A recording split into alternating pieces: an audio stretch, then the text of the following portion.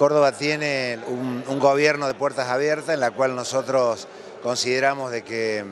el diálogo, el consenso, en tratar por todos los medios de escuchar a, los 427 municipios, a nuestras entidades del agro, a nuestras industriales, trabajar en conjunto para que a veces en una Argentina de amigo-enemigo, de blanco-negro, los grises sean los que superen las situaciones. Y la verdad que estamos muy contentos de trabajar en conjunto y en ese sentido vamos a seguir trabajando